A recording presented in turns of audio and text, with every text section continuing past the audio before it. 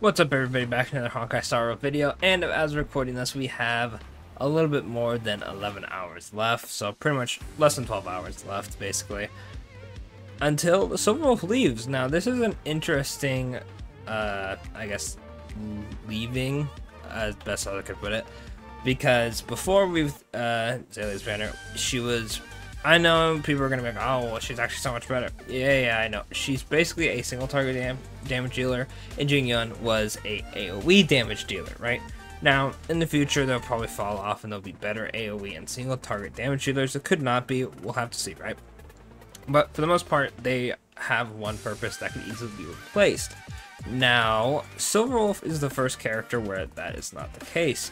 Now, going forward with uh, Witch's banner, he is the first like easily obtainable healer that's not Natasha, right?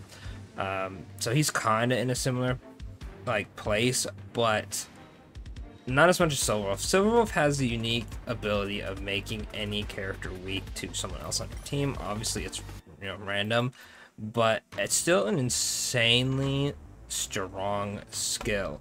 And I am not fully done with mine yet. I'll show you mine right now.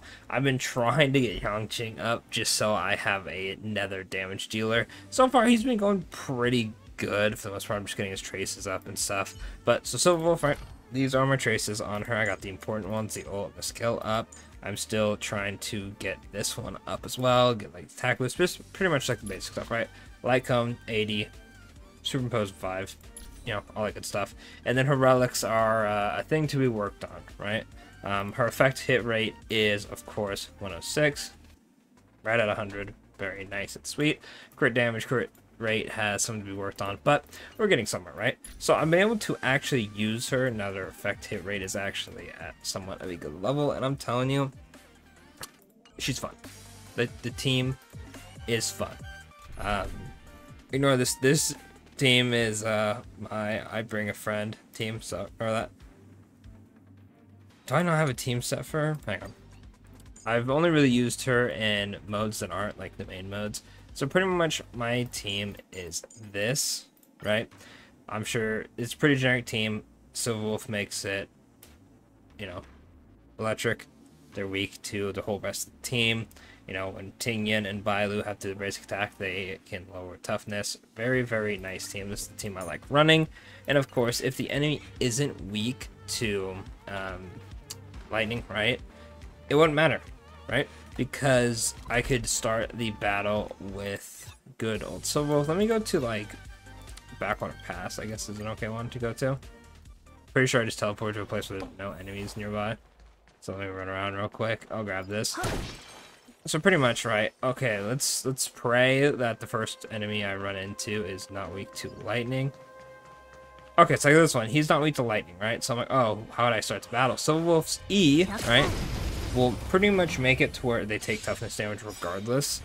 So she has that going for her off rip, right? Let me go ahead and turn this down a little bit just in case it's too loud. Um, it's always 50-50 with that. But her E is so strong. So this character is weak to ice when, you know, you, you get the gist, right? Boom. He's weak to lightning. Actually, just, it's so, so fun. It's so fun using her. And I just go crazy. Of course, he took more damage because he's weak. But it's actually just such a fun, fun character. I, I like her a lot.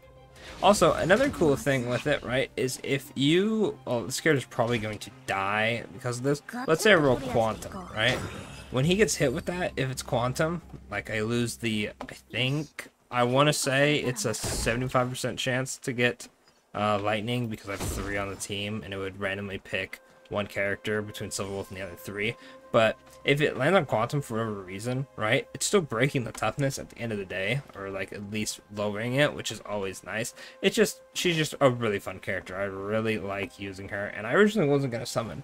And she has a one of a kind you like with her E being able to by the way that goes really far. With her E being able to break enemy toughness regardless of what they're weak to as you go into a battle uh, her making enemies weak her doing her bug debuff. Let me open up the characters thing real quick. I believe it's the talent. Yeah so the bugs reducing attack defense speed are super nice. The ultimate reducing defense she just makes she makes Jing Yuan just look like an unstoppable best character in the game. Every time Lightning Lord attacks, everything just dies. Such a good, fun character. I recommend if you aren't summoning Felucia or you have funds available, try to get one copy. I don't think they would release a character anytime soon that has anything close to Silverwolf. Like, there's nobody like in the betas with Kafka and Blade and other characters. Wink, wink. Um, none of them do what Silverwolf do. They're all like healers, you know, preservation, like shielders, or you know, Kafka's Nihility Blade is just like low HP, do a lot of damage, survive. He's destruction. No character does what Silverwolf does. So, you know, best of luck if you do summon. You have less than 12 hours to figure out if you want to pull or if you want to save. Best of luck with whatever you do. Very, very fun character. I cannot recommend this character enough. And the best part is you don't need the light cone as long as you did the free event and got the free light cone. That's all you really need. But other than that, that'll be it for the video. Um, tomorrow's video is going to be pretty short as it's my birthday. Um, I'll probably just go over any changes that are in Star Rail for my birthday. I know you get like a cake and I think some Stellar Jades, if I'm not mistaken. You'll see it in tomorrow's video. But anyway, thanks for watching. And of course, I'll catch y'all in the next one.